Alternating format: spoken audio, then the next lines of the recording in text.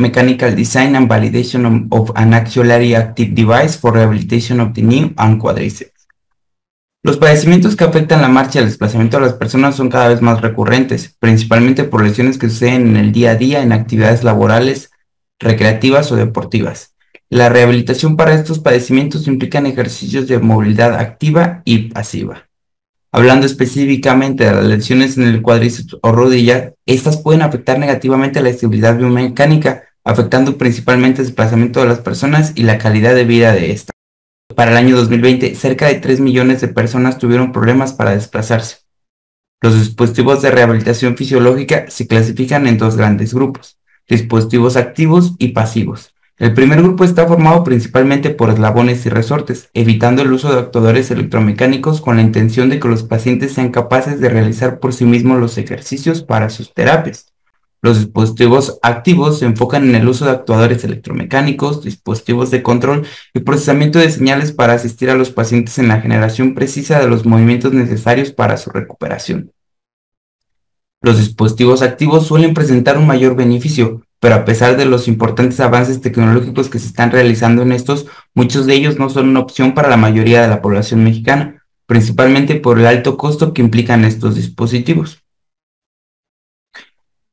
Indagando en el estado del arte podemos observar el trabajo de UMCHIP de 2016 que muestra el desarrollo de un dispositivo inteligente de movimiento pasivo continuo con control realizado por una placa Arduino y una pantalla táctil. En el trabajo de Weinberg de 2007 diseñaron un dispositivo activo que se conecta a las piernas del paciente. Este dispositivo se caracteriza por ser ligero y el uso de fluidos electroreológicos para controlar el estrés en la rodilla.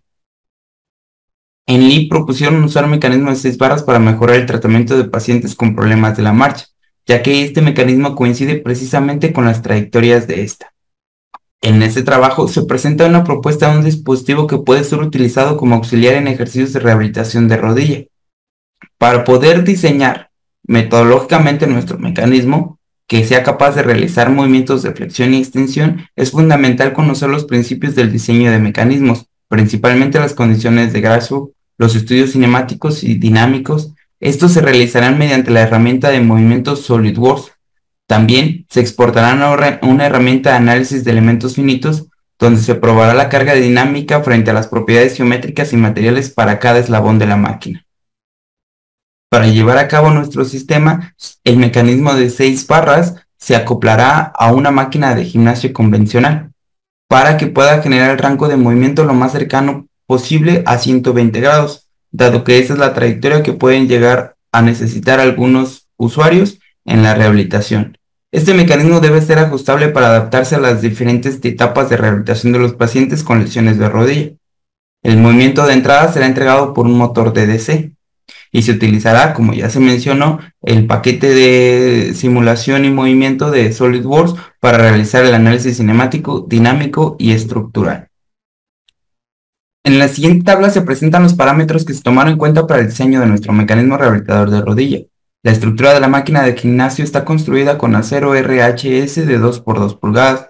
Se utilizará un motor de corriente directa Maxon SI40, el cual trabaja de 18 volts a 5.46 amperes.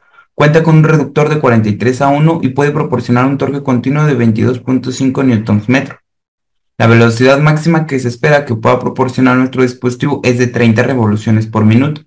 Se espera que se logre un rango de movimiento de 20 a 120 grados, dado que es la amplitud de movimiento que pueden llegar a requerir los usuarios. Los eslabones serán diseñados en acero A36.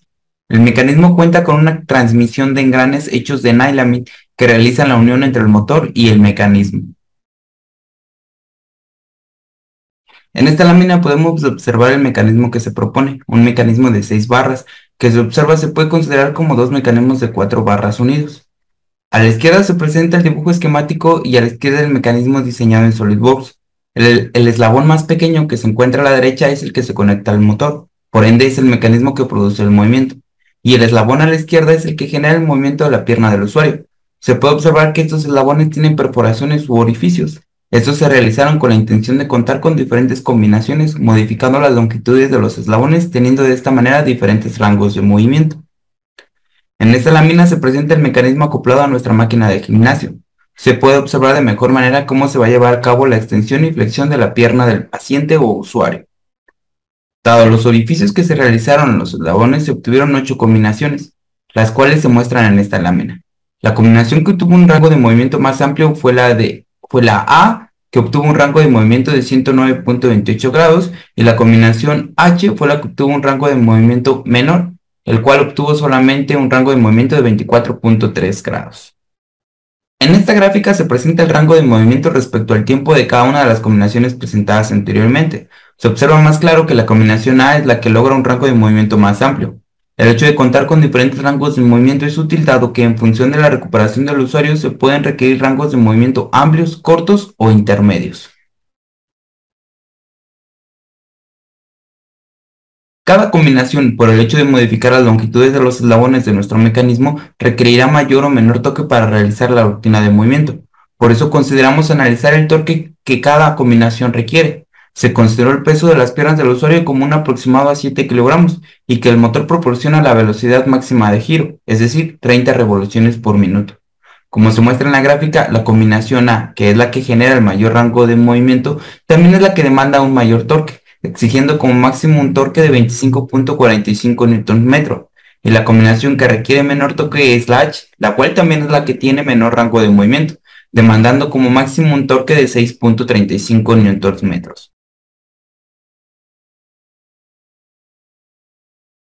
Con las gráficas anteriores decidimos hacer el análisis de elemento finito solo a la combinación A, dado que es la que demanda y soporta la mayor cantidad de torque, es claro suponer que también es la que supondrá la mayor cantidad de esfuerzo.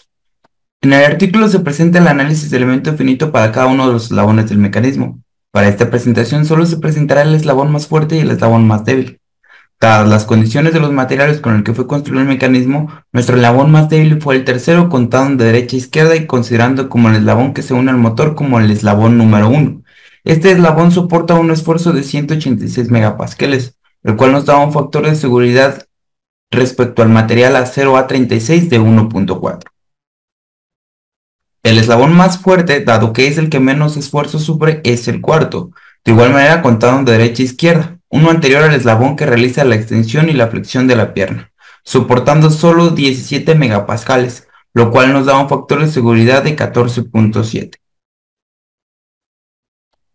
En este artículo se propone el diseño de un ensamble de seis barras para la rehabilitación física de pacientes con lesiones de rodilla. Los resultados mostrados en este estudio prueban que la máquina propuesta cumplió con la tarea de proporcionar una amplia variedad de rangos de movimiento que cubren desde las primeras hasta las últimas etapas de la rehabilitación física. Los datos obtenidos muestran que los eslabones conforme a este mecanismo podrían soportar las cargas dinámicas necesarias para su funcionamiento, sin embargo, también se observó que se pueden realizar reducciones de peso, cambios de material y optimizaciones de topología y consecuentemente reducir el torque necesario. Esto puede ser materia de estudio para futuras investigaciones para validar el costo-beneficio de estos cambios. Con base en los resultados del diseño y la simulación, los estudios futuros relacionados con este proyecto se centran en la implementación del mecanismo, en pruebas de campo para determinar el estrés producido en las rodillas y en la evaluación con trabajadores de la salud para establecer su, su relevancia clínica en la rehabilitación del paciente. A continuación, se presentan las referencias utilizadas para la realización de este artículo.